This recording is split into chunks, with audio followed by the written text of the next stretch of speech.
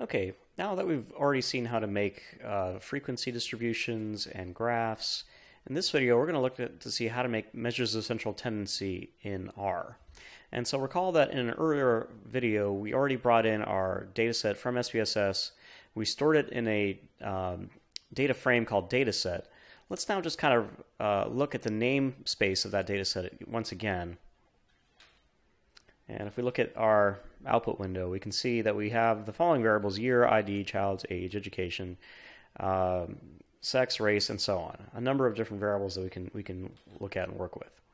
Okay, so um, in R, if you want to make a, um, a mean or a median statistic, we can just use the mean or median functions respectively.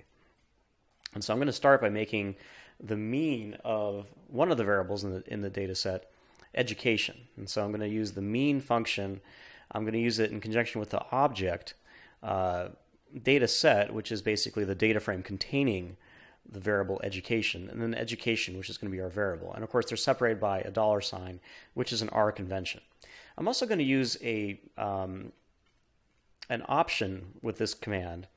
Uh, the option is na.rm. That means basically it's going to remove anything that's non-applicable or missing and I'm going to set that equal to true. So that means that, that when I perform this command, I want it to exclude the missing cases. If I didn't do that, uh, the resulting value in R would be missing or NA, and so I wouldn't get any kind of useful information. So I'm effectively only running this command on the valid cases. And likewise, I can do the same thing with the median command to get the median or the 50th percentile, right? So I'm running it on the object, dataset educ, which, which identifies the data frame and the value within the data frame in which this is run. I'm also going to remove any non-missing cases with na.rm. So if I run that, and then I look at my output window, so I can see that it calculated a mean of 13.53 if I round it for education with a median value of 13. So let's say that I wanted to do this for a number of different variables. So what I could do is basically uh, first just make a data frame that only includes the variables that I want. So I'm going to call that new data. And so before I do that though, I'm going to create another object called myvars, which is basically just a uh, vector with only the variables that I'm going to include in the new data frame. So let's say I wanted to, to run the, the mean and median commands on, on three variables, sex, class, and education. Uh, I can use a vector to, to uh, specify those variables. Again, this is case sensitive. I'm going to save that as a, as a, as a object called myvars, which again is just an arbitrary name that I've used.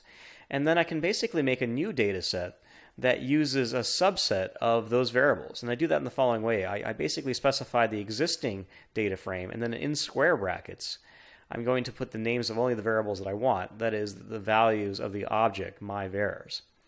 And so if I run that, um, R should recognize that basically as, as a new object. And so if I look at the namespace of my data, it should only be those three variables that, that uh, I've created. And so we go down here, we can see, yes, the namespace that includes the, the, the, the, the values of new data are sex, class, and education. Only the three variables that I want. Now what I can do is I can basically use um, the sapply command to run the means command on all of these variables at the same time. So rather than doing it one variable at a time, I can actually run it on all of the variables. And so uh, I'm going to use this sapply uh, command that applies some function to some data object. In this case, the data object is going to be my new data data frame. Uh, I'm going to imply the mean command, so it's going to basically run the mean for each of the three variables. And again, I'm going to use the uh, na.rm option to exclude the missing data. And so this is going to be basically run the mean command on all three of the variables in new data, excluding the, the missing data in each case. And I'm going to store the results as myvars.means. And I'm going to do the same thing with the median. I'm just going to sapply to the median rather than the mean, but everything else is the same. Um, so I'm going to run that. And then if we just go down to the output window, we can see that these are being stored. And so we'll look at the results in just a second. Okay, um, one thing I'll, I'll, say is that uh, the mean command probably will not work on, on factor variables. So if you have value labels in your data set and you brought them in from SPSS, uh, R is probably going to treat them as if they're uh, factors, not numerical variables. So you are going to have to convert them to numerical variables using the the uh, as dot numeric function. Um, I showed how to do that in an earlier uh, video, so just go back and look at that one if you're confused about how to do that. Now, what if we wanted to also get the mode? Well, it turns out that there's no uh, command in R for, for calculating the mode, but we can actually write our own function to get the mode. And so I'm going to write a new, a new function called getMode. And I'm going to use the function command to indicate that I'm creating a new function. And this function is going to create uh, um, this getMode command. It's going to also have one argument. So I'm going to uh, call that argument v. So here I'm just basically showing that my new function is going to take a single argument. Now, the actual lines of code that are going to be run as part of this command are going to be what's between these curly brackets. Okay, so what I'm going to do is I'm going to use the unique function to figure out uh, if any of these uh, values that are going to be fed into my argument, which is basically just going to be a vector that I'm going to feed into it, are unique. And then I'm going to. I'm going to uh, basically save them into an object called uniqv. And then with that object, I'm going to figure out which of them is the is the maximum, which of them is the is the most um, uh, highest value that occurs after I tabulate all of them. Uh, and I match the, the, the, vectors to anything that's unique, right? So basically, it's looking for uh, which of these things are unique and which is the most highly occurring, which basically is the mode. So I can just run this and save it. Now get mode will be a new command that R recognizes. And then I can use the sapply command with the new data on the new get mode uh, function that I just created. Now notice that I, I can't actually make it limit uh, to, to non-missing cases. Um, I'd have to make my, my function a little bit more complex, and, and I don't want to do that to, just to make this a little bit more simple. And so I'm going to run the get mode command on my new data with the sapply command, just like I did with the mean and the median, and I'm going to store that as my var, var's mode. And if we run it, it's going to save it. And now basically the, the, last thing I want is just a count of the total number of cases. And so I'm going to use the same kind of idea. I'm going to create an object called myvars.total. I'm going to use the sapply command on my new data, just those three variables.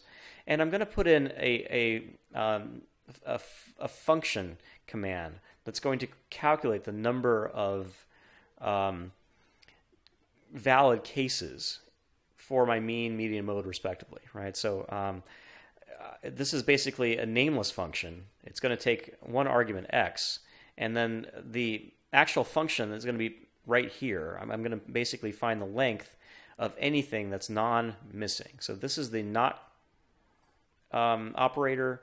Is NA is just asking is how is is what is it is not missing, and then which is basically going to select only those cases which are not missing. And so if I run this command, myvars total is going to give me a count of all the non-missing cases uh, in my in my uh, data set. So now I can just print those things. I'm going to print the values of the means, the medians, the modes, and the total number of cases. I'm going to use the R bind command to bind them into different rows so that they're matched up row by row. And then I'm going to, with the print command, I'm going to use the th- digits 3 option to only show 3 digits. So if we run that, and then we scroll down uh, to our output window, so we can see that we've got some results. So for sex, we have a mean of 1.55, which of course means nothing. It, it, uh, for a nominal variable, you shouldn't be taking a mean. Uh, for class, we have a mean of, of 2.39. Again, that's some number that falls in between categories means nothing. For education, we have a mean of 13.5. The median for sex is going to be 2, but of course that's not so meaningful because it's not a rank statistic. For class, it's also 2, and that's going to be working class. And then for, for education, the mean is 13. Uh, the median, I should say. Now, the mode for sex is going to be 2, and that's, that's actually women. For class, it's two, that, that's working class, and then the mode for education is 12 years of education. And this just tells us how many cases we have to work with. So 1,974 one, for sex, 1,957 for class, 1,972 for education. Okay, so going back to our, our syntax, uh, now we just put it all together. I'm going to actually make a data frame. I'm going to call my data frame uh, cent dot, dot tend. Uh, so this is basically the, the um, the different statistics that I just calculated. I'm going to put them into a data frame, and I'm going to create four different columns for my data frame. One's going to be called the mean, and that's just going to have the values of, of my means that I created earlier. Another one's going to be called median, and that's going to store the object values of my var's mean, which, which I created up, up here. And then uh, the next one's going to be mode, and that's going to be equal to basically my var's mode, which I created up here. And then the last one's going to be n, total number of cases, which is the variables total, light, which I created up here. So I run this. This will make a new data frame. Um, I'm calling it sent tend.tend. Uh, and now what I can do is I can basically just run this through the Stargazer command. So remember, if you haven't already done this, just make sure that you you uh, bring in the Stargazer library. So if it's already in, in memory, you don't have to worry about this. Uh, I'm going to run this just again just to make sure I have it in memory. And now I can use any of the Stargazer commands. And so I'm going to use the command Stargazer. I'm going to run this on my data frame, cent.tend. Uh, I'm going to make it a, a, a text uh, type. Um, like I said, there, there are in an earlier video, there are a number of different kinds that you can use. Uh, text is probably the most basic one. LaTeX is another one, but I'm not going to go into the details of that. I want summary statistics, so I, I, I, actually don't. Actually, I'm sorry, I don't want summary statistics. So I'm make this. I'm going to make this false. I just want the values that are actually listed in, in the data frame as they appear. And then I'm just going to add a title to make this look a little bit more publication quality. I'm going to call this table one measures the central tendency for my variables.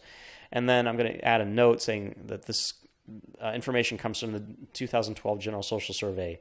And I'm going to use two digits for all my values. So if I run that, um,